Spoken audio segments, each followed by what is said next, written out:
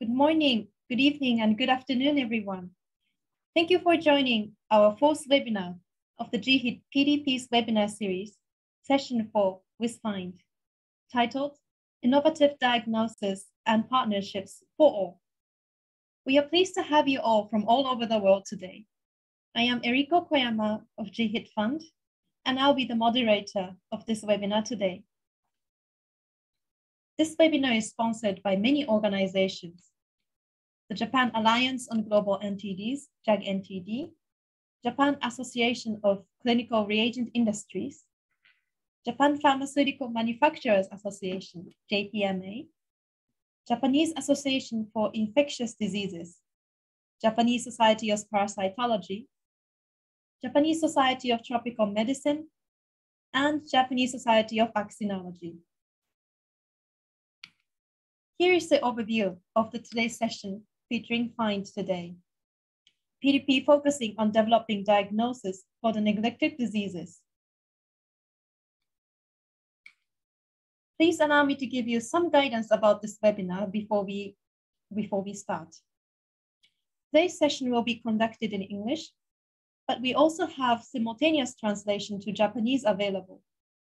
If you wish to listen to the webinar in Japanese, please choose Japanese from the interpretation box, which can be found on your right-hand corner of this, uh, of this Zoom window. Please feel free to send your questions anytime during the webinar via the Q&A box at the bottom of this window. We also accept questions in Japanese. And we also can take questions to be addressed verbally. And we will give you the instructions during the Q&A session later. If you have any technical issues, please contact the email address indicated here. Please kindly note that we will be recording today's webinar and we are planning to update it on GHIT Fund's website after the webinar. There will also be a questionnaire at the end of this webinar, so it would be great if you could take two minutes of your time to answer them. We have started this webinar series to maintain the momentum and foster dialogue about the R&D community's role, challenges, and opportunities in the fight against neglected diseases during and past the COVID-19 pandemic era. In this session four with FIND, we will focus on achievements and challenges for the development of diagnosis for neglected diseases. Now, I would like to introduce the panelists of today's webinar. Today's panelists will be Dr. Sergio Carmona and Mr. Willo Brock of FIND, Professor Shinjiro Hamano of Nagasaki University, and Professor Takafumi Tsuboi of Ehime University. Thank you all the, to all the panelists uh, who joined us um, also early in the morning. Now, we would like to start our first presentation uh, from FIND, which will be from um, Mr. Willo Brock of FIND, followed by Dr. Sergio Carmona. So Willo, if you could, uh, thank you, share your screen and unmute yourself and start your presentation.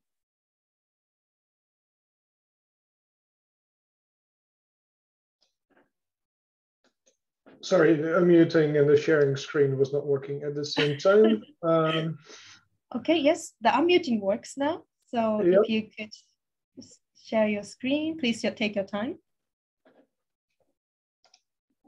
Uh, here we go. Okay, thank you and good morning, everyone. Can you see my screen? Yes, perfect. Thank you. Great, thank you very much. So first of all, welcome everyone to this uh, seminar about uh, diagnostics in collaboration with, with GHIT. I would first like to express my sincere thanks to GHIT and all of our uh, partners and collaborators that we have been working on uh, since actually inception of GHIT um, uh, many years ago. Um, my name is Willo Brock. I am leading the external affairs team at FIND, which is a function to help create partnerships with both pharmaceutical industry, with our donors, with our academic partners, our partners in healthcare in, in low and middle income countries that we plan to serve.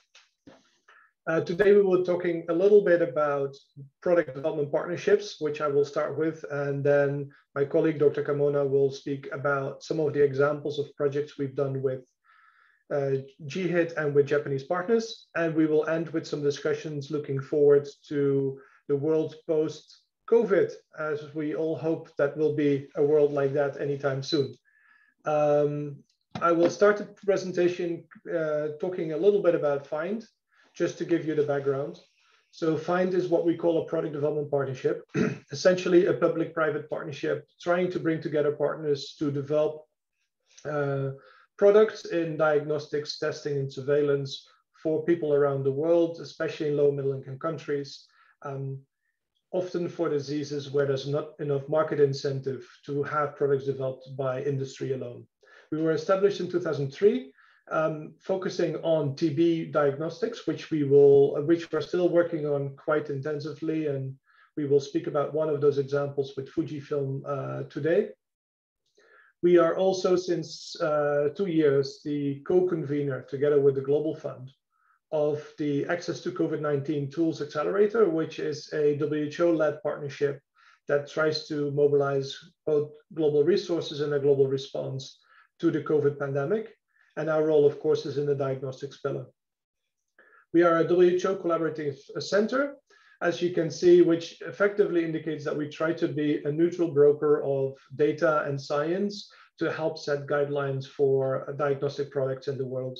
And we would therefore help, uh, on the one hand, companies, academics with promising products to collect the data to lead to, uh, to guidelines from WHO. And at the same time, with WHO, when these guidance is there to move products um, to partners and into use in, uh, in and around the world. We're also a SAGE member at WHO, and we are ISO certified for our clinical trial work. As you can see on the bottom, our overall goals from our new strategy, which published just six months ago, is over the next three to five years, work with, um, so, uh, work on saving 1 million lives through diagnostics save healthcare systems in the world $1 billion through more effective and efficient use of products and empower at least 10 countries with a intensive collaboration on um, uh, ramping up diagnostic and surveillance.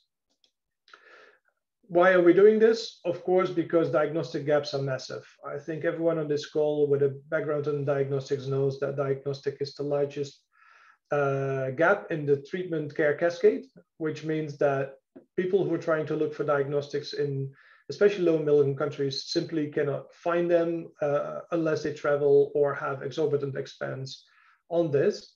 As you can see here, only 1% of primary care clinics have basic diagnostic capacity as defined by WHO. There is even no test for 60% of infectious diseases with outbreak potential.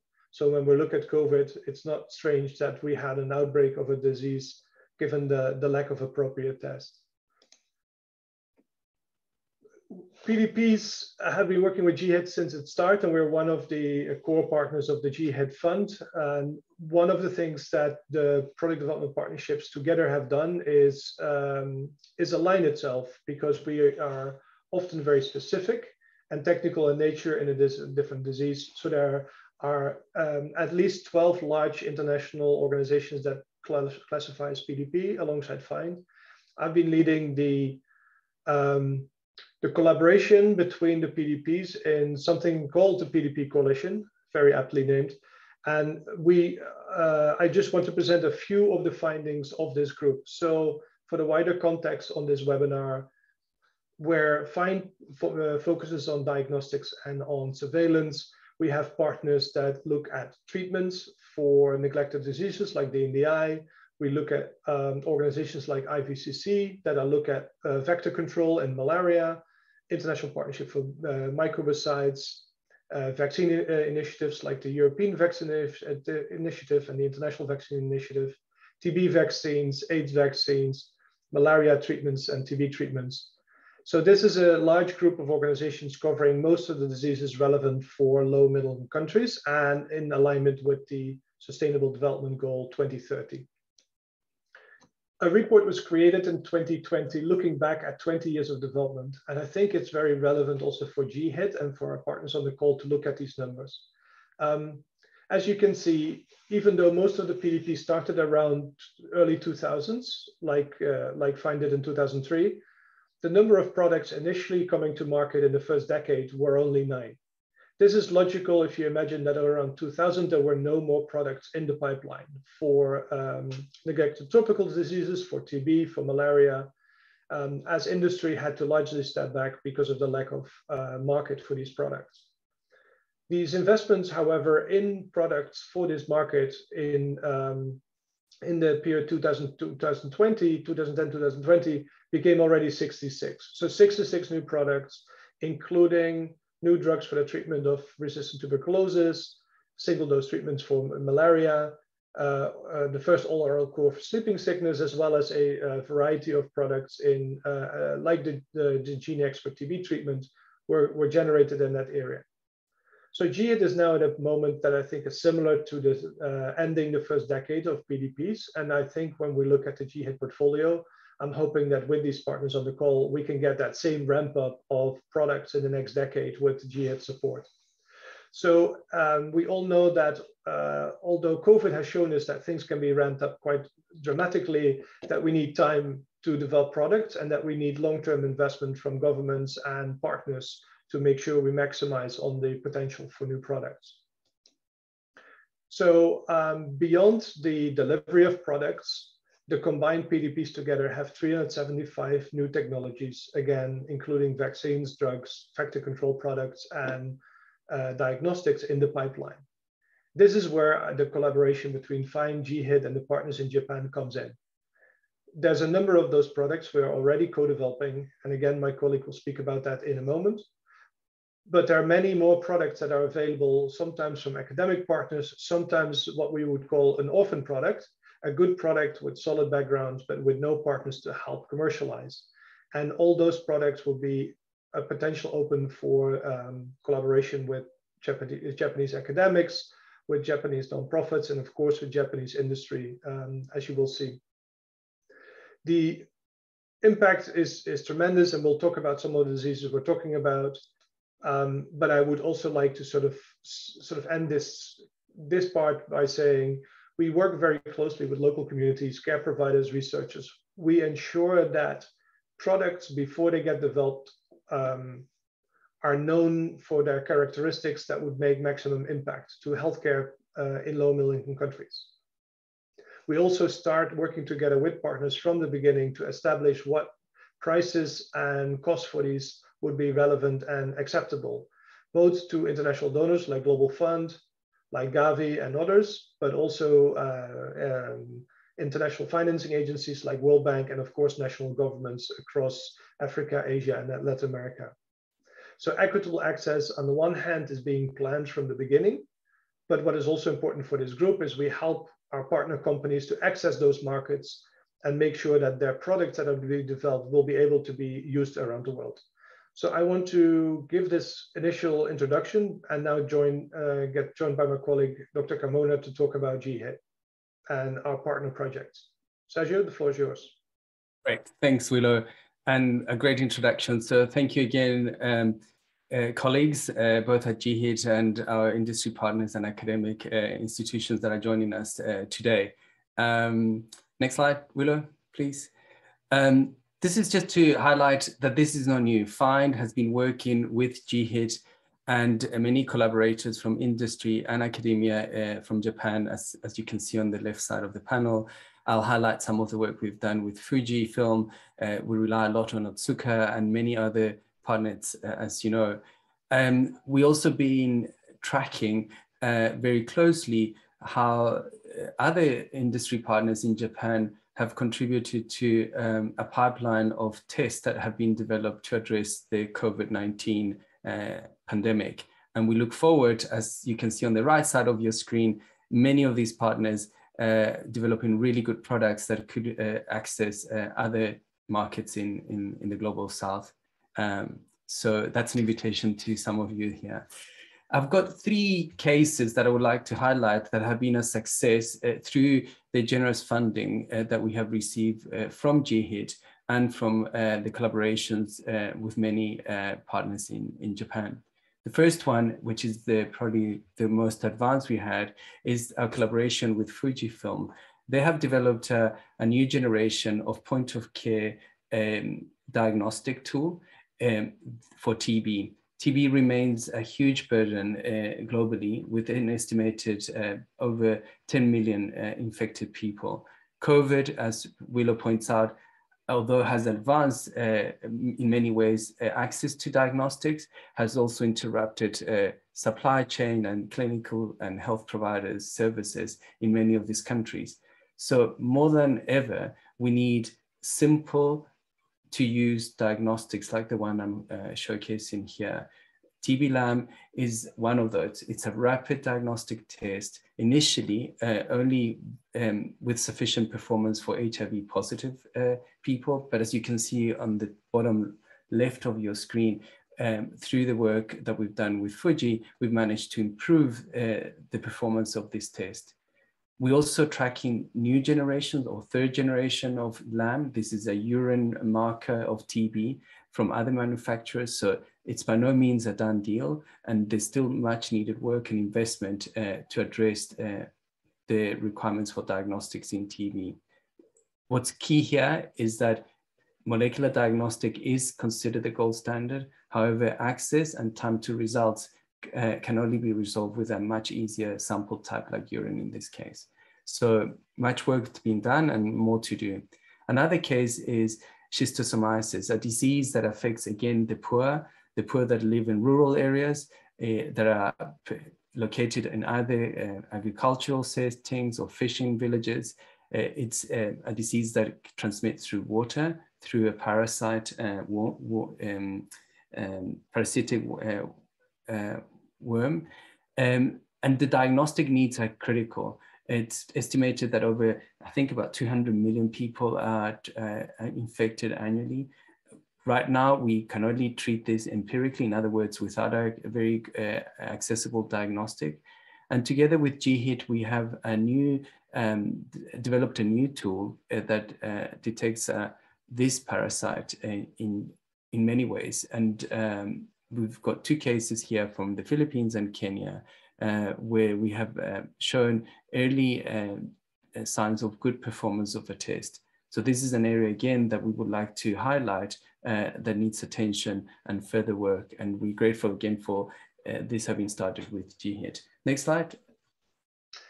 Thank you, uh, Sergio. And I would just like to add for the audience that yeah. uh, the co-investment from GHIT in schistosomiasis drugs um, that oh, is also yeah. basically helping to create a test and treat strategy for the future. Again, some years off, but very promising joint investments that is really a quite leverage on the work that, that's being done. Yeah, good point. So this is uh, this this campaigns of massive uh, drug availability to prevent uh, but again, a diagnostic tool will narrow that down and allow for much more targeted uh, uh, people to get um, treatment and hopefully elimination. And the last one is it's a disease that doesn't necessarily affect many people, but is really debilitating. Uh, Buruli ulcer, it's uh, caused by a mycobacterium similar to TB or leprosy, uh, a lot more tricky to treat and definitely in this case, Will, as you point out, molecular diagnostics are not useful because of the time that it takes to, to diagnose and because of where these individuals are affected. It's apparently about 33 countries that are still reporting Buruli ulcer.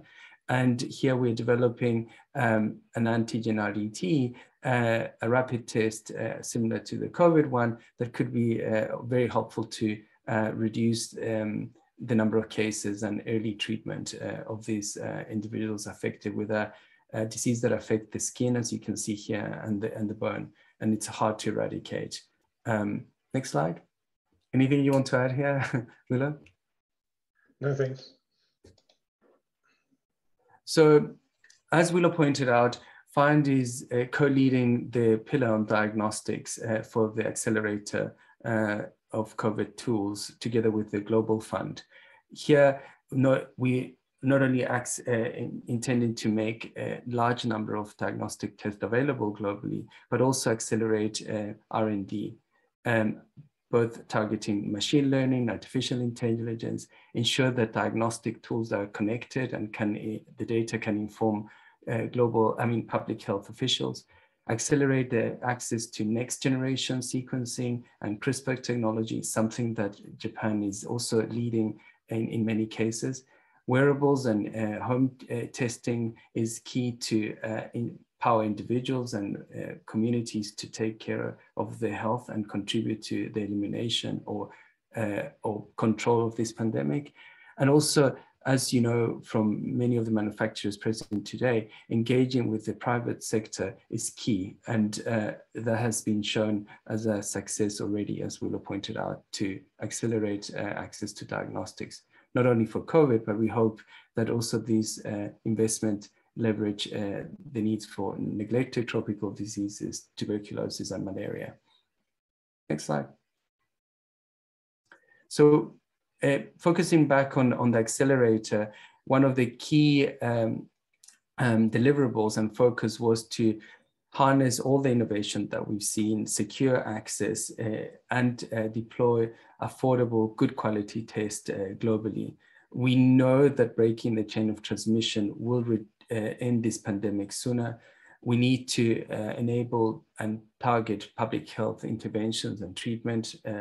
but in this case, diagnosing sooner and, um, and broadly is key. And also keeping an eye, as we know now with Omicron, of new variants of concern and in the future, other threats that could be of pandemic uh, proportions. So next slide, um, Willo. So as you can see here at the bottom, the, the, and the green line, it's an example of the timeline that took to develop a rapid test for malaria. It's, it's measuring in years to decades we need to commend ourselves and many of the partners here today that the timeline to develop a molecular test and a rapid uh, antigen test was much reduced to, to just month. Together with uh, the Global Fund and GHIT, etc. Now, these developments have been expedited, but also um, affordable. So in other words, these tests have become uh, uh at a price that many other countries can also access to.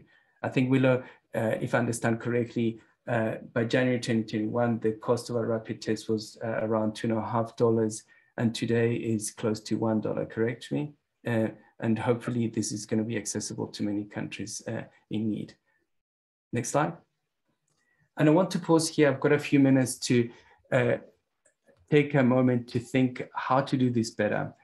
Together with the G7 countries, uh, in this case led last year by the UK government, uh, a roadmap was considered uh, to address uh, an urgent need to respond both in terms of treatment, vaccines, and diagnostics within 100 days.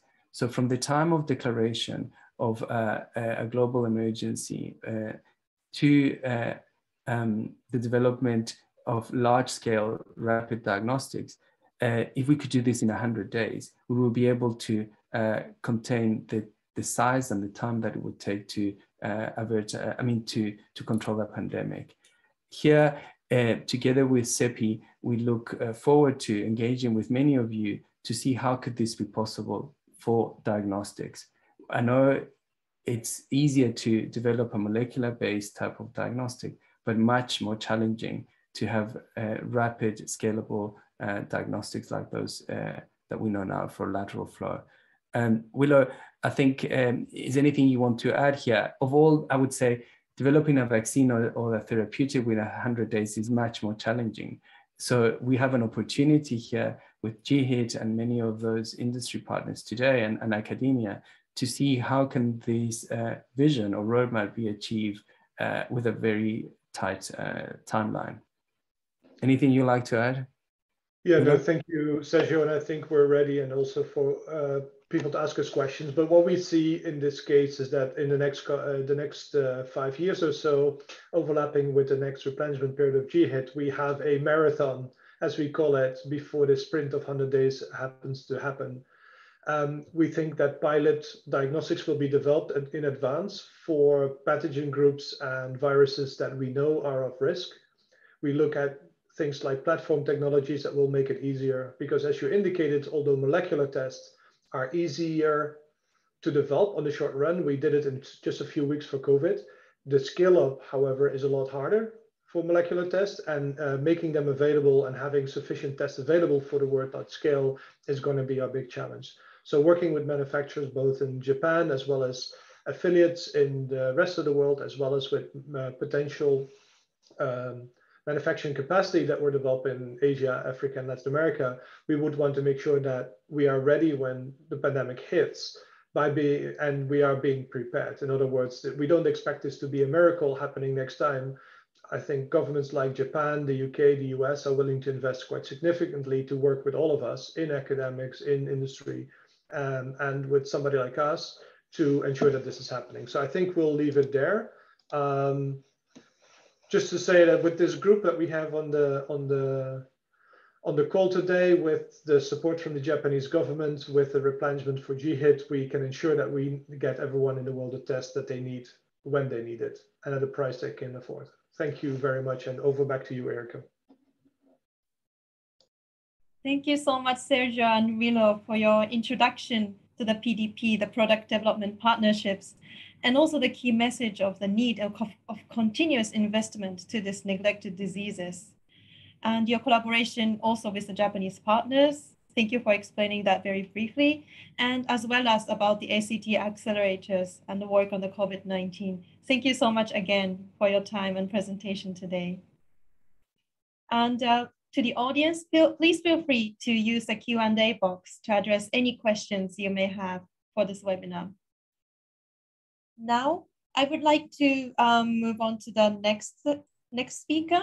So I would like to introduce Professor Shinjiro Hamano of Nagasaki University. So Hamano sensei, thank you so much for sharing your screen. And if you could put it to the presentation mode, okay. Yes, perfect, Hamano sensei. Thank you very much. First, I would like to appreciate GHIT for giving us a chance to introduce our global partnership for product development to combat neglected tropical diseases. I graduated at School of Medicine, Kumamoto University in 1993 and started investigating infectious disease mainly from immunological point of view in Kyushu University. After that, since then, uh, I have been interested in tropical infectious disease and host defense mechanism to microbe, especially parasite. Besides the immunological approach, I conduct field study on various NTD, especially leishmaniasis and schistosomiasis in Asia and Africa. I belong to the Institute of Tropical Medicine, Nekken, Nagasaki University. And uh, we realized that tropical disease and other health problems should be addressed from a global perspective. Based on this understanding, uh, we aim to overcome tropical disease, particularly infectious disease, and the various health problems associated with them in cooperation with related institutions and organizations to strive for excellence in the following area, area shown here, one, two, three. And the partnership for product development contribute not only to disease control and health promotion in the tropics by applying the fruits of the research, but also simultaneously stimulate or promote leading research in tropical medicine and international health, and in the same time, uh, contribute to cultivation of the researcher and specialist in the field mentioned above. The purpose of the GHIT to facilitate international partnership for product development matches well the mission of our institute, Nekken. We have been involved in the partnership to develop vaccine to leishmaniasis in this way with this partner or to Chagas disease. And also to develop diagnostics to leishmaniasis and schistosomiasis with including find here. In this session, I am requested to answer a list of specific questions shown here.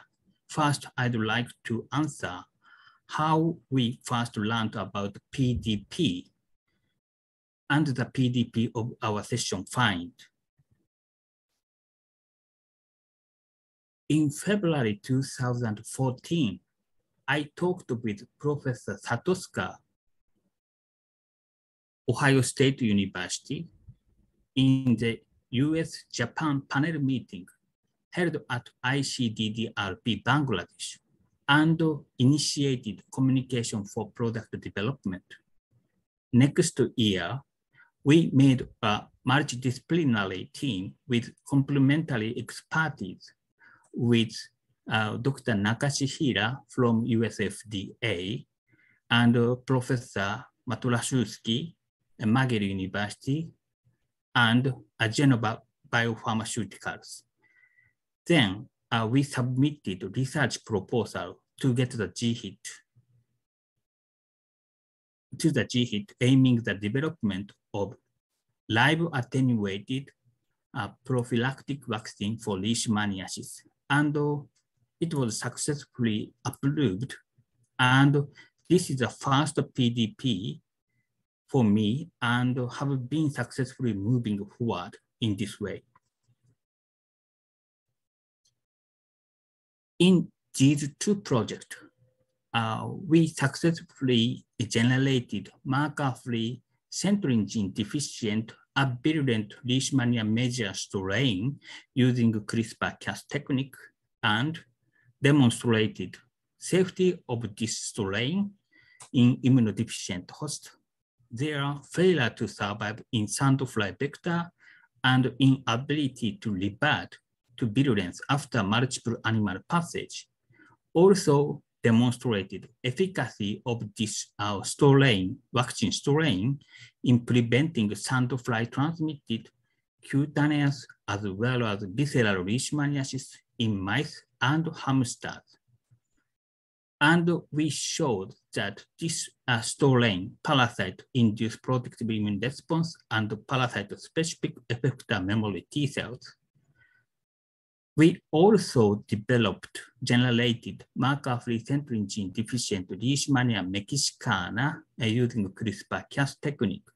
And this parasite, this species are endemic prevalent in the New World. Uh, in this way, uh, these findings are published in Nature Communications and uh, Communication Biology and NPJ vaccines uh, in this year. Aiming first in human trial, uh, we have been developing master cell bank and working cell bank for this strain uh, vaccine strain at ATCC USA for manufacturing of CGMP product in an endemic country. Also validating the assay for final characterization of CGMP product and preparing regulatory dossier for phase one study with regulatory authority in the US. Simultaneously, uh, we have initiated discussion with our Indian vaccine manufacturer for phase one study in India. And concerning with the uh, skin test diagnosis supported by this uh, project, uh, we have developed GLP material for L-donovani antigen for skin test for leishmaniasis as a surrogate marker for immunity and exposure. So I uh, introduced the outline of the vaccine development. So I would like to move and introduce how we learned about PDP with find on schistosomiasis. And uh, uh, we are supported by GHIT uh, for diagnosis uh, associated with schistosomiasis, uh, two projects. These two projects is uh, distinct but associated somehow. Therefore, at first, I'd like to show the background of these two projects with FIND. As shown by the FIND, our schistosomiasis affect uh, 230 million people worldwide, and the control program largely based on MDA, mass drug administration with praziquantel. However, current diagnostic methods have various limitations shown here. Therefore, new diagnostic or monitoring tools are urgently needed to support, monitor, and sustain schistosomiasis control and elimination program worldwide. So with the progress of the control program using this uh, kind of approach, uh, both prevalence and infection intensity of schistosomiasis decline with time. So prevalence and intensity of the infection. So indicating the sensitivity of the currently available uh, tool uh, for example, to detect the egg in urine or stool under microscopy will below the satisfying level. Therefore, the point is how uh, we can uh, monitor and survey transmission or retransmission of schistosomiasis in pre and post-elimination setting. Aiming to uh, produce this kind of product, uh, we applied these two projects in 2017 and 2020 for detecting antibody and antigen, CAA antigen by RDT. In August 2017, I uh, received a message from Maria Leiden University asking the possibility of our collaboration on schistosomiasis uh, either vaccine development or new diagnosis development, then considering our ongoing research and unmet need in the world, I proposed to work on new diagnostics development and made a partnership with London uh, Leiden University Medical Center and Ligature. And we have kept the association with FIND and we are, this is supported by this GHIT project. Uh, we have identified a protein or glycan antigens target and profiled diagnostic antibody responses to each antigen. Now uh, we are in the process to identify and validate a specific target for each uh, use case, which means uh, in what case this kind of uh, antigen is applicable practically. In November 2019, I get a call uh, from the, the GHIT about the possibility to have a partnership with the consortium led by FIND on the development of CARDT I'm not sure, but uh, personally think that uh, the, uh, this action by the GHIT was associated with the former project with Leiden University Medical Center and Ligature. Therefore, they asked such kind of possibility. And fortunately, uh, we uh, started our communication with FIND and other member of the consortium and submitted the grant application and it was approved in July 2020. And under COVID-19, uh, we completed the first field evaluation of prototype uh, in the Philippines, and it yielded very encouraging result. So in this consortium, NECEN NUITUM is uh, monitoring the field study of the prototype in the Philippines at first. Then will manage the clinical trial after uh, design lock in Kenya and in the Philippines with the support from the FIND. Lesson learned from the partnerships are that uh, making international multidisciplinary team with complementary expertise is critical, which can bring the project forward from academic research to the product development with overcoming scientific, technical, and regulatory hurdles. Also, managing multi-stakeholder consortia with leadership and coordination is essential and crucial.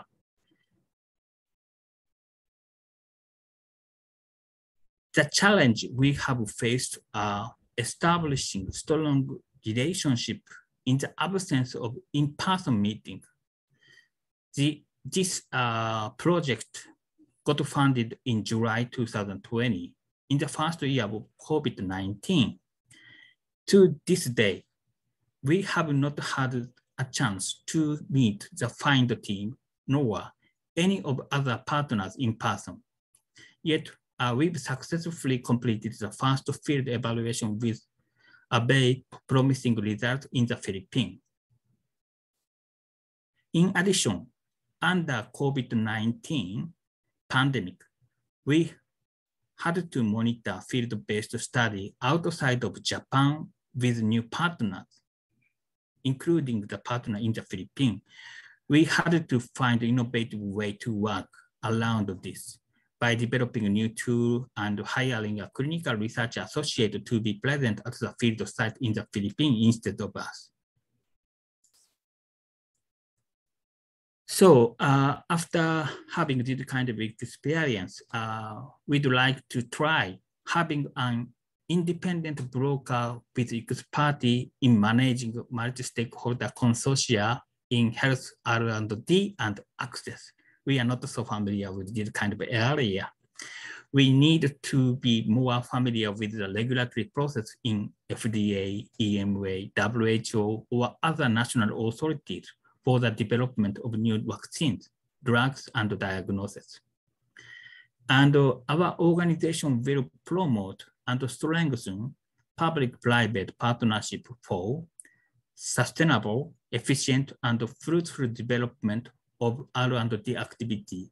And this, this kind of activity uh, well uh, match the mission of the Institute, NECKEN, Nagasaki University. Thank you very much for your attention.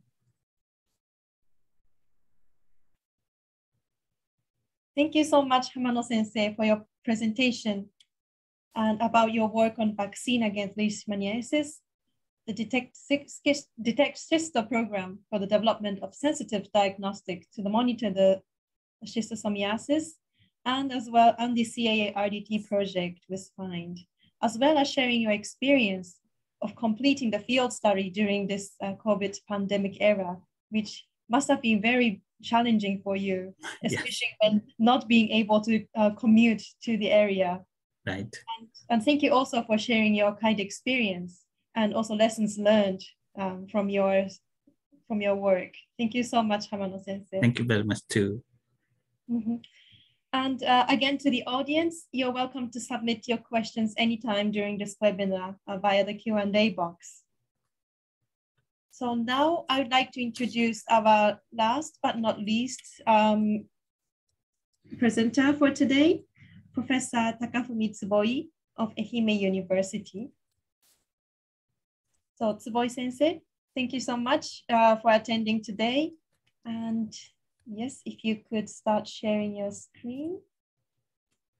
Yes, yes, we can see, see your presentation. Okay, so the uh, pointer. Okay, can you see my pointer here? Okay. Yes, we can see your pointer too. Thank you. Okay, so uh, my name is uh, Tsuboi from Ehime University, Japan. And thank you very much for inviting me as a speaker in this uh, nice, nice, nice webinar series. And uh, today I'd like to talk about innovations through partnerships uh, with PDPs, especially uh, uh, from the uh, academia viewpoint, because I'm originally origin, still now the basic scientist in academia, but now deeply involved in the uh, product development.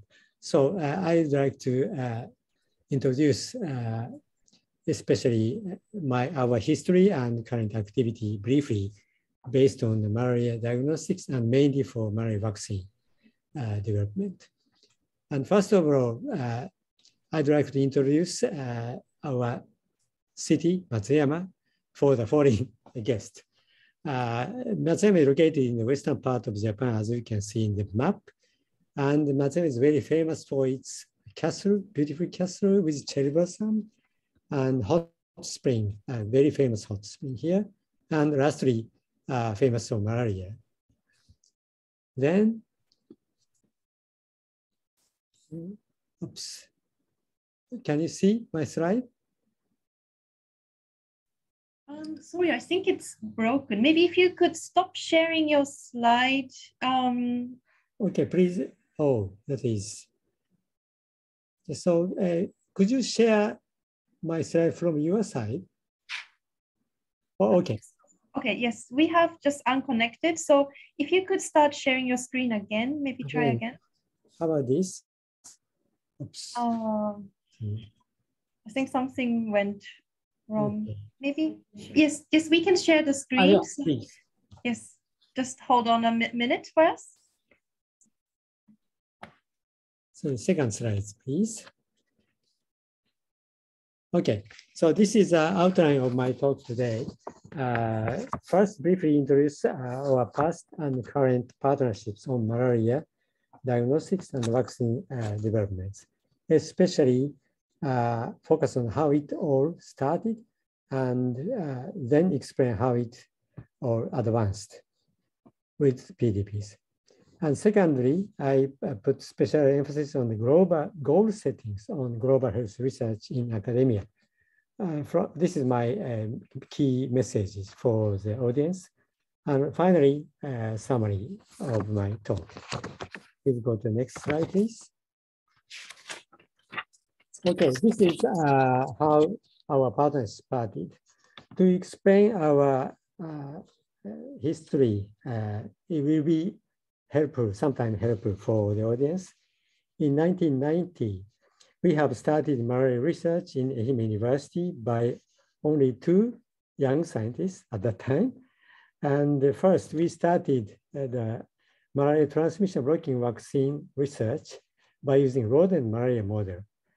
And after the successful uh, cloning of the vaccine candidate genes in the rodent model uh, without partners, uh, then we will move into the human parasite, Plasmodium vivax, then started cloning the gene of the transmission blocking vaccine target. And that was successful by, in collaboration with uh, the NIAID USA and Mahidol University in Thailand. This is our starting point of human malaria uh, transmission blocking vaccine research with partners in academia. And this uh, in summary, our partnership in late 90s are established among academia with goals of scientific achievement. But uh, when malaria genome was opened in 2002, uh, at that time, Ehime University invented an innovative protein synthesis technology named wheat germ cell-free system. In essence, uh, by using this technology, we can produce any proteins in a test tube by eukaryotic folia. Therefore, we think uh, this is suitable for malaria protein expression. Then the wheat germ cell-free system uh, affected a lot on our partnerships shown in the following slides. Next slide, please. Okay, in the post-genome era, we jumped into the genome-wide malaria vaccine research using the wheat cell-free system, especially novel antigen discovery of both blood stage and transmission blocking vaccine candidates. After the successful uh, identification of a novel transmission blocking vaccine falciparum, we started the first uh, partnership with for this vaccine development with the PDP Path MVI uh, under the GHIT support in 2014. Almost at the same time, we also applied our VITJAM cell-free technology to the identification of diagnostic antigen and the bottom half of this slide. Uh, we, our target was plasmid vivax hypnozoid diagnostic marker identification. In this project, our role with the science company here uh, is to produce proteins and high throughput immunoassay. And in this partnership, we have in Australia as a project management with cohort sample, provide a cohort sample and antibody measurement and big data analysis. And also the FIND, uh, today's uh, uh, speaker here, played a role on development of TPP of this uh, diagnostics and technology selection for future point of care diagnostics. So early 2000, we started our partnerships with the PDPs because our goal uh, now became from the scientific achievement to the product. Next slide, please. Okay, so now in recent five years, we have been focusing on uh, malaria vaccine development and expanded our partnerships on all three life cycle stages of the parasite. Left-hand figure is a parasite, malaria parasite life cycle. And uh, our target is transmission blocking vaccine, number one, to uh, cut the life cycle of the parasite in the mosquito. And then number two, pre-erythrocytic vaccines to prevent infection of the parasite. And number three, uh, asexual blood stage vaccine to uh, stop the parasite growth propagation in the human body. As shown in this slide, this GHIT funded uh, project involved PDPs, PATH MVI, PATH, and EVI, as shown in this uh, slide. And these PDPs are playing a role on project management towards the preclinical and clinical development and multiple supports on assay developments. And our role as a University, as academia, are on the protein production and bioassay development. In summary, we have been playing a role uh, based on our scientific ex expertise to establish mutually complementary partnerships for the product development. Go to the next slide, please. Second, next, uh, I'd like to uh, summarize our goal settings from an academia point of view. Next slide, please. As a global health researcher in academia, I believe that the goal settings of our research is the key on global health product development. If I set at the beginning, if I set my goal is a scientific achievement as a basic scientist, the, there's a lot of scientific achievement, but I will not progress towards product development. Next slide, please. If I set a goal of my research as a product development with global health impact, for example, malaria vaccine, I will make our research progress as target discovery validation of the target, uh, optimization of the lead candidate, and so on. And getting closer and closer to the product development. However, there is a big gap, so-called uh, death valley, from the research to the de product development, as every, everyone knows. And what is the gap, for example, for us? lack of budget to progress towards preclinical development as an academia, no idea how to contact PDPs, risk of policy change in the partners even after the project progressed, and so on. So even our goal is goal setting is product development. We won't be able to achieve this goal because of the big gap. Next slide, please.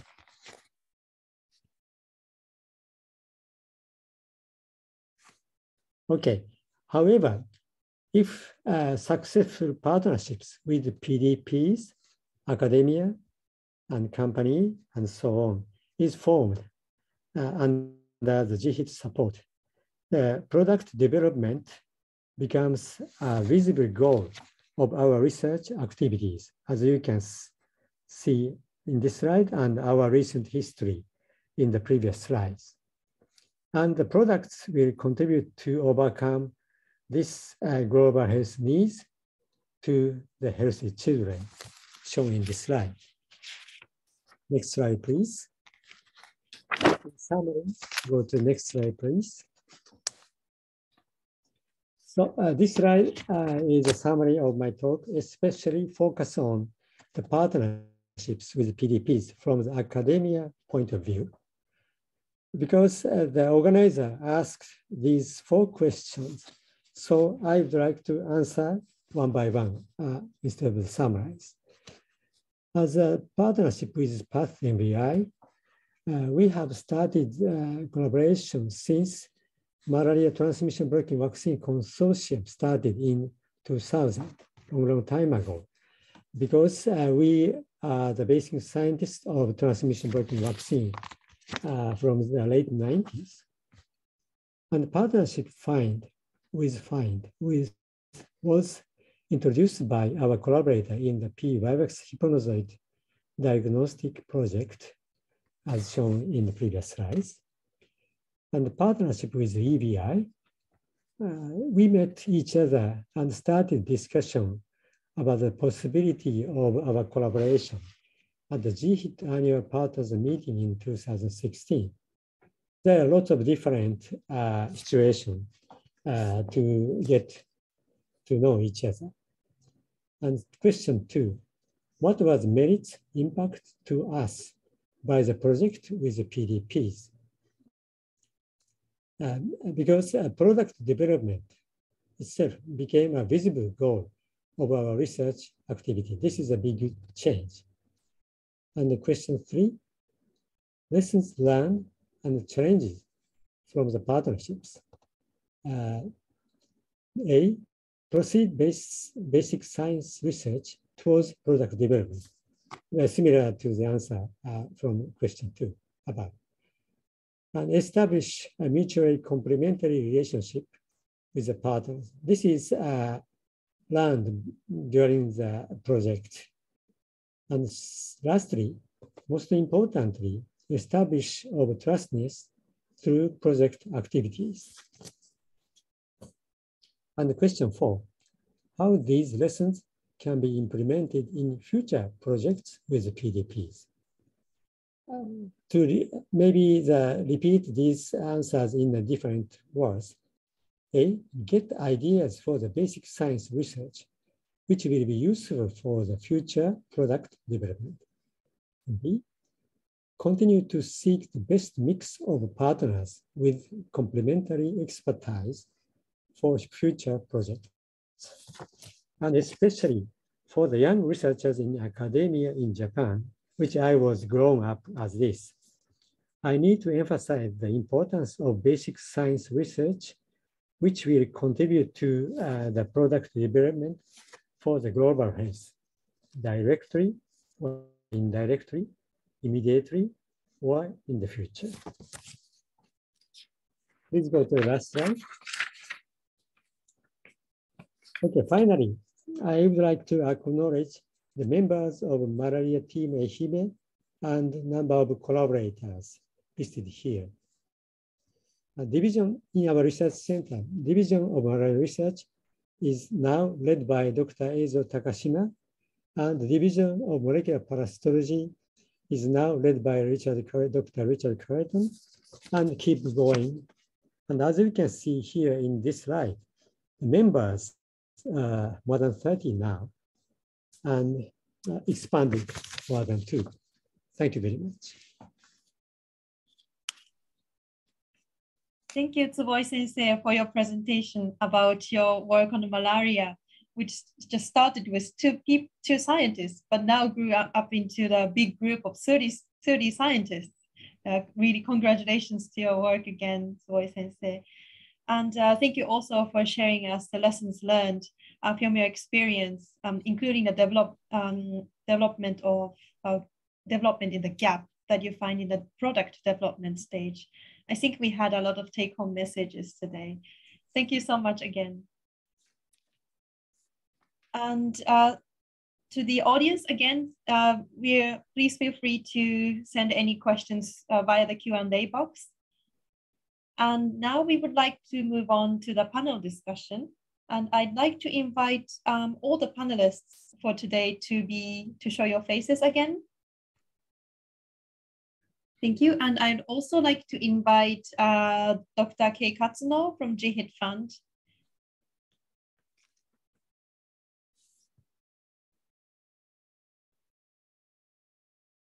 Okay, thank you. Thank you for rejoining us again for the panel discussion. So I have some questions um, to, to you. So I'd like to ask one by one, but please feel free to jump in if any of you have any additional comments to that. So first, I'd like to address my question to FIND. So maybe either Willo or Sergio can um, answer this question. So what, collabor what kind of collaboration would be possible with pharmaceutical companies? And what merits or needs can you suggest for pharmaceutical companies to be in a collaboration with FIND on diagnostics to develop di diagnostics? Willo, you want to go? I go. I can go first, and then you can maybe specifically in some of the diseases uh, add something, Sergio. So I think one of the areas, Eriko, and, and thank you again for for the seminar, and also to Professor Tsuboi and Hamano uh, for the great work and the great presentation on the joint work. As you can see, this work is a collaboration effort, and I think what we would uh, see possible is in all the diseases we mentioned, both industry and academic partners to to uh, to participate.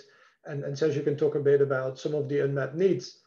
What I think we bring to the table between GHIT and FIND in this partnership is uh, global connections. So we can bring partners to the table from across the world that are uh, contributing and adding to the uh, already existing uh, great infrastructure in Japan.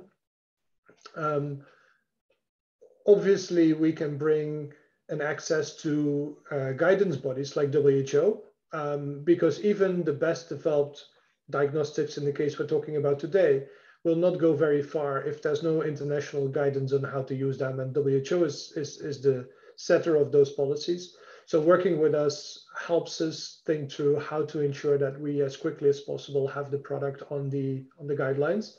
And then of course for the industry partners, we have the connections to some of the government, some of the funding partners, Global Fund for TB, malaria, and HIV. So working together with us also helps us think through how to bring the product to the market. So I think those are the three areas of work, global collaboration, um, ensuring global guidance, as well as uh, access to markets. And that's on a general level. So Sergio, maybe the diseases, of course, I think we have a lot of different products uh, and, and, and needs. Maybe you want to add something there?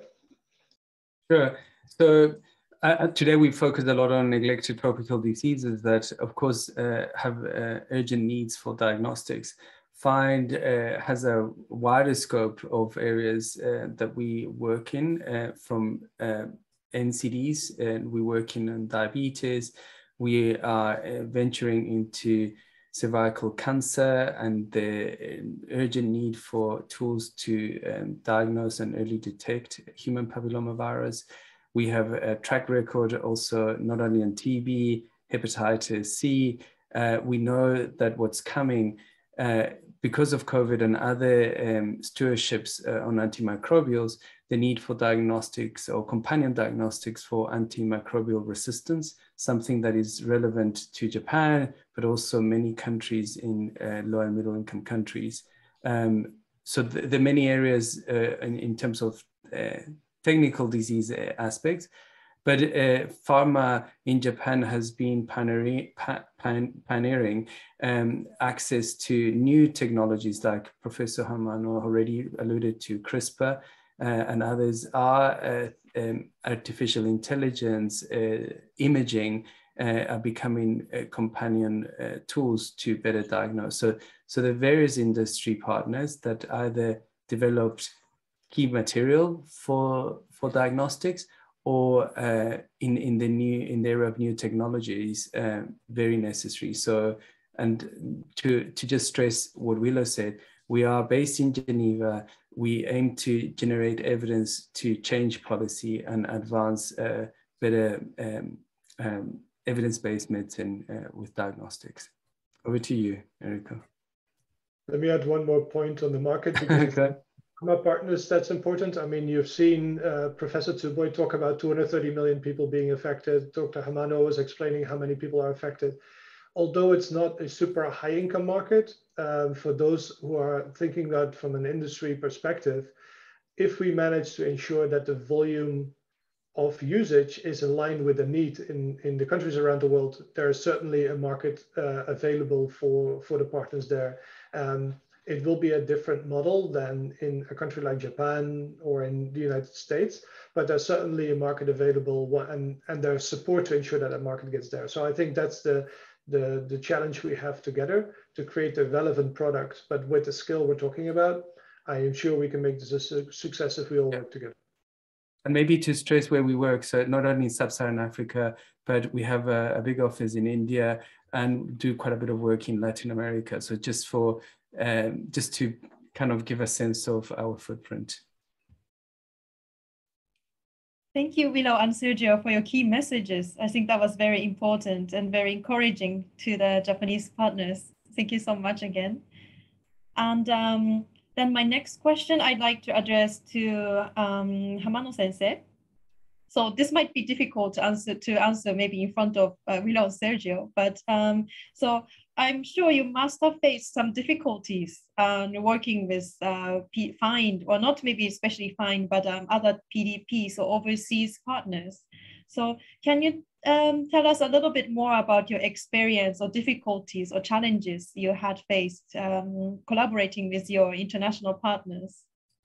Thank you very much for critical questions. And uh, as you mentioned, uh, uh what we uh, mentioned, uh, we initiated collaboration or partnership with FIND uh, practically or actually from uh, 2019. And uh, we have not, we still, still we do not have any chance to see face to face, just online in this way. So we cannot link together. It, it's not so easy to know the personality at the first.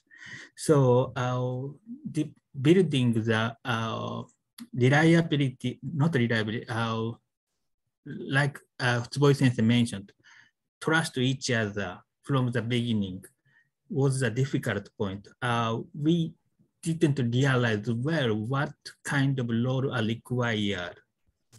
Of course, uh, they kindly show us what they request us and what we should do but uh, that is a bit uh, very distinct from usually we do in the field side. And in the uh, partnership with FIND, we are requested to manage the field study, evaluation of the prototype, and uh, verification of the uh, design locked product. Uh, in either cases, we need to know very much about the people work in the field and also the uh, culture or background in the area. We have been working in the Bangladesh or Kenya, but I have not yet worked in the Philippines. And we didn't know anyone uh, closely in the scientific field uh, in the Philippines. That was the start line. And uh, under this COVID-19 restriction, we are forced to uh, run the project. So, but uh, I'm very much impressed by the preparation done by the FIND. So uh, we needed to uh, run the field study in the Philippines remotely, but uh, FIND uh, kindly or uh, carefully prepared the training slide, more than 100 pages in detail.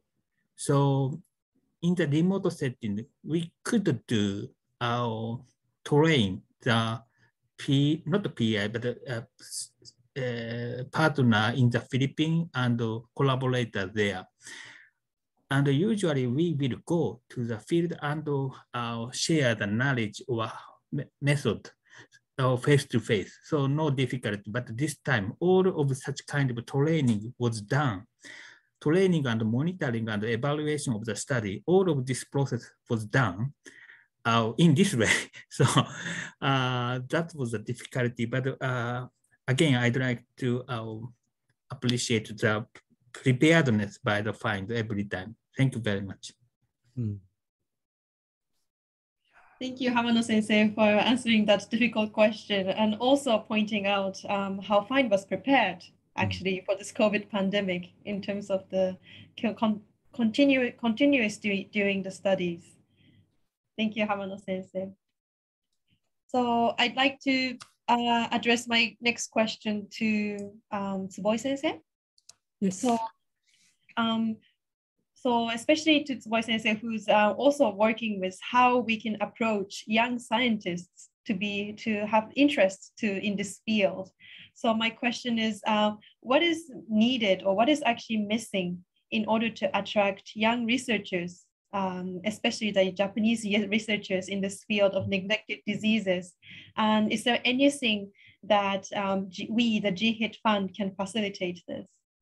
Okay, so uh, as I summarize the, uh, the goal settings in my slide, that is my, based on my experience and my feeling.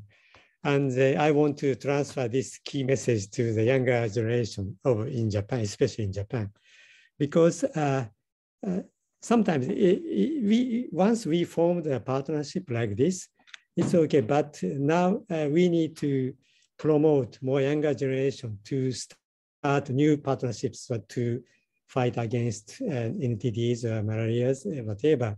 But, but uh, when I think about, recall my experience, maybe from the G, I request GHIT or Hamano Sensei, Nekken, to visualize one, number one, what is uh, pressing needs to overcome current global health problem. This is one. Because uh, in Japan, uh, as we, as far as I know, many very talented young active researchers in the basic science. That's that's a huge number. But the, in this uh, global health area, especially tropical medicine or parasitology, uh, the population is very small. But, but uh, I th think myself that why this interesting research field is not so famous, still not famous, is because uh, we need to visualize them. What is, there's a big problem in the world. This is unmet, what is uh, pressing needs to the global health uh, development. Number two, uh, more specifically for GHIT request, visualize what are the missing products to find against these unmet needs. Okay, CRISPR-Cas or GenWide, blah, blah, blah, that's very good art for Japanese young scientists, but uh, uh, lateral flow uh, uh, point of care test, maybe that from the just the technology point of view, from the younger generation, oh, uh, outdated or something like that. But today, the audience who listen to today's uh, webinar, they know that, oh, there's a very high technology in the POC. And this is more uh, important for fight against global health. So anyway, so now uh, three, one, one is uh, what is unmet need. Number two is uh, what is the missing product to develop this. And the third one is uh, today's key talk, key message. What is PDP? Because, but PDP is very important, but uh, many young basic scientists doesn't know what PDP, uh, what is this uh, abbreviate like that. Okay, thank you very much. Thank you, Tsuboi Sensei. Yes, I had. I need to confess that before I joined GHIT, I also didn't know what PDPs were. So, is even though I was in the, I was working in the, I have been working in the pharmaceutical area for more than six, six, seven years. I wasn't aware of the global health even, and I didn't know about PDPs. So it was my a great opportunity to uh, learn about uh, this field and also the great collaboration with the PDPs after joining GHIT. So that was my great um, sort of experience that I had. So yes, thank you. And I, we also think that it's very important to deliver this message to all the young researchers. So maybe um, Katsuno-san from GHIT, do we have, so I think we received a big message from Tsuboi Sensei today. So do Certainly. we have anything that we could maybe address? Um, sure, thanks, Eriko. Um, just wanting to echo um, the comments made by Tsubo Professor Tsuboi, um, underscoring the important criticality of uh, basic science and also how to engage uh, more and more young researchers in the field of product development for the neglected diseases. So I think your advice is greatly appreciated. And um, I think from a GHIT standpoint, if you take a look at the first couple of years of um, with regards to the funding opportunities at GHIT, um, there has been somewhat limited number of applications and also awards made, uh, for instance, to young researchers. But um, in recent years, I think there has been a good trend in terms of uh, there have been greater number of applications as well as awards made to uh, young researchers. Uh, what the good example is uh, the colleagues of Professor Tsuboi, the ones uh, that were listed in the last slide of the presentation. So we're definitely seeing some encouraging and reassuring trend in the in that respect. So um, within the current circumstances with the COVID-19 situation, uh, having in-person meetings um, are, uh, it's it's pretty difficult to have in-person meetings such as as, uh, as Professor uh, Hamano just mentioned earlier, but using multiple opportunities such as the webinar today, um, I think we're in need of communicating these key messages that Professor Tsuboi mentioned to wider community uh, such that we can create more robust um, product development uh, community uh, for neglected diseases. So that'll be my comment. Back to you, Eriko. Yes, thank you, Katsuno-san. And I, uh, we also, I also think it's uh, really important to continue working together with PDPs like we are doing today. And I think Willo has kindly showed us today in the presentation um, about the keeping the promise um, that uh, all the PDPs are working together to promote what P PDPs are doing, how important they are. And I think it's also very great that they actually translated this into the into Japanese as well. So I think if you have any interest, we, you're, we're welcome to visit our website and we also have the Japanese versions available. So we hope to continue this uh, momentum um, together with, with all the PDPs. Thank you. So uh, we only have a couple of minutes left for this panel discussion, uh, but I'd like to address my last question um, to FIND again. So um, what is, uh, I think uh, you mentioned briefly about your projects, um, especially the GHIT funded project um, with the, the, collaboration with the Japanese partners.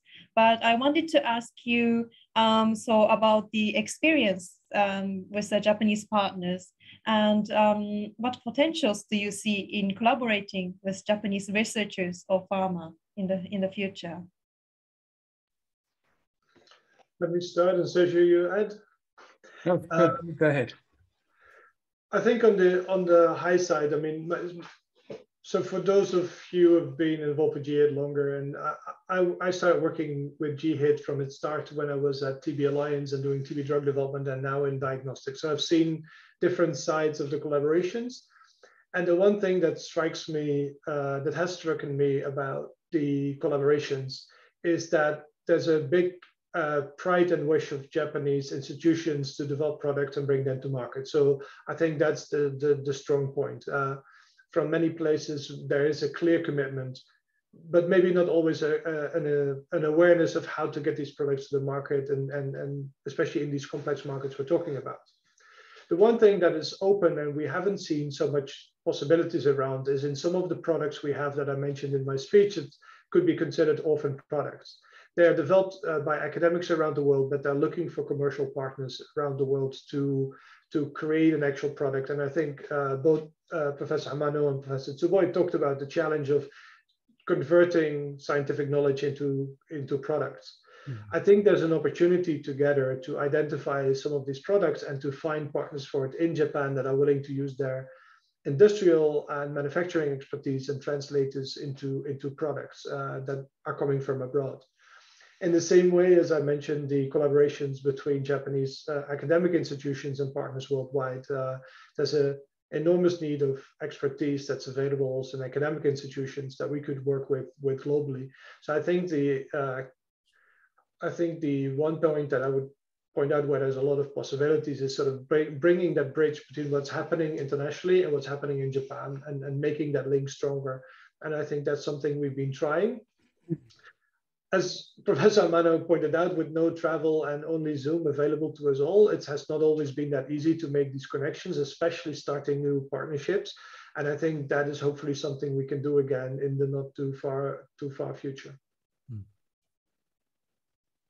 Yep, uh, I think to be kind, I think we've done well with all the restrictions, limitations, etc. Uh, Eriko, could we do better? I mean, you put a challenging question to to the partners about how, has it been difficult to work with FIND? I think uh, we have two professors that I'm really thankful very much because uh, besides all the known challenges, uh, we've managed to engage with them quite well and and successfully. But um, I think, uh, Eriko, Japan's got a huge um, pool of, of knowledge of scientists uh, and, and industry partners. Often, the whether it's Japan or other centers, the the difficulties are in bringing them to maturity, as Willo points out. So it's in the last valley of death, as we used to call it, right?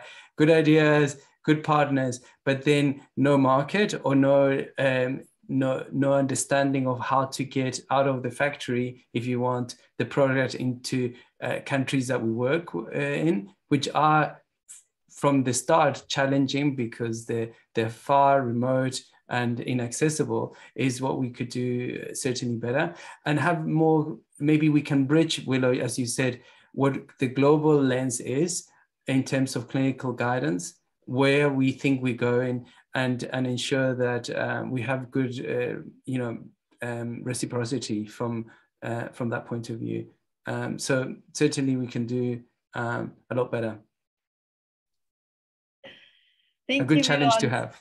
Yes, mm. thank you. Yes, it is especially challenging in this COVID area, but um, we understand. But I think um, there have been a lot of achievements already uh, as well, and also uh, we have learned maybe special cases, but also development for COVID-19 has also made us, um, I think, had some a lot of learnings for how we can expedite the, the development. So thank you so much again for answering that and also the potentials to the Japanese partners.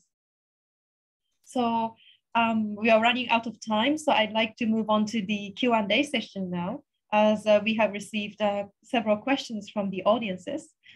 And I'd like to invite um, Mr. Hironobu Itabashi from the GHIT Fund to moderate this Q&A session. Thank you very much, Koima-san. Uh, my name is Hironobu Itabashi. Now we I will be moderating the Q&A session. Uh, let me brief, uh, briefly give you some instructions. So please uh, raise your hand if you want to speak and ask your question, or use the Q&A box and send your questions. If you want to speak, uh, please make sure to say your name and also organization before your question. And it would be great if you could only ask one question to allow uh, other participants to ask their questions too. So let me uh, first of all start uh, with the questions. Um, if someone raises their hand. Um, okay, so I can see uh, Dr. Sophie um, Howard, uh, who raised uh, the hand. Uh, you must have received a pop-up um, showing that you could unmute yourself. So please unmute yourself and uh, ask your question. Uh, thank you, uh. It was a mistake of me raising my hand. I'm oh. sorry about this. Don't worry. Thank you very much. All right. So uh, if you could uh, unmute yourself. Thank you. So let's move on to the next um, question. Uh, let me double check again if we have someone raising their hand. Otherwise, we'll be moving to the Q&A box questions. Okay, so I do not see anyone uh, from the audience raising their hand. So let me ask the question that we have received on the Q&A box. So I will be reading the question. Um, how can the exciting new technologies and partnerships we have heard about today be used to identify a highly sensitive test of cure for chronic indeterminate Chagas disease? This would be a huge step forward to the field. So I bet this question might go to either um, to FIND colleagues and to the professors, uh, Tsuboi and Hamano since Professor Hamano. So perhaps we could start with uh, FIND colleagues. Wait, should I take this one? uh, if I understood you correctly, it's inter, intermediate. So it's it's before chronic uh, Chagas, uh, and so so Chagas is a disease that affects uh, the Americas and many other countries. It's it's tricky because it's it, initially it's it's not easy to to clinically identify, and then later on, it it has major consequences to um, the the heart, and it can lead to cardiomyopathy. So you, you end up years later having cardiac problems and not knowing what was the causing agents is almost too late. And also in some cases, esophageal problems. So swallowing food becomes a problem and the diagnosis is not necessarily cancer of the esophagus, but it could be Chagas. Um, early, like in most diseases, prevention is key. Early diagnosis is, is essential. But what makes it tricky is that later on, uh, you may not be suspecting uh, that you have this disease. And the tools available as uh, whoever asked that question uh, is is is not there. Together with a, a grant we have with unitaid uh, we are looking into this uh, area in endemic countries like brazil bolivia paraguay um, etc colombia um, and we can pro it's it's early on. That consortium has only been you know it's it's a couple maybe about a year in, into its development and it's looking both at particularly at that question on the rapid diagnosis and uh, linking it to to treatment. So uh, it is an area we're working on through through some funding. But uh, yeah good good question and we can through Eriko and GHIT provide more details uh, uh, that you can disseminate on in the, so we're looking into it Good question. Thank you very much, uh, Dr. Sergio. Um, perhaps, uh, Willo, if you have any um, comments. No, I think this is this is uh, enough. I mean, obviously, when we think about from the perspective of GHIT, if there's partners working on this area, especially if there are companies that have com companion, I mean, we are always interested, especially in areas that are neglected, to get in touch, to start seeing if there's a possibility for developing a project in that area even though there's other funding that we can also potentially link it to. Um, in this specific case, we're also working uh, with DNDi, which is the other, which one of the other partners in PDPs with, with GHIT on Chagas. And I think there could therefore be interesting opportunities to develop something for the future. Maybe to just highlight an issue because point of care machines, uh, it's like box that can amplify you know any nucleic acid and that's one approach so if there are manufacturers or people interested um, it's it's the little details of what we put inside the box that are not so difficult. But if they are uh, interested in in that area, happy to to yeah discuss it further. And obviously, rapid lateral flows. Thank you very much um, for your answers to this uh, great question.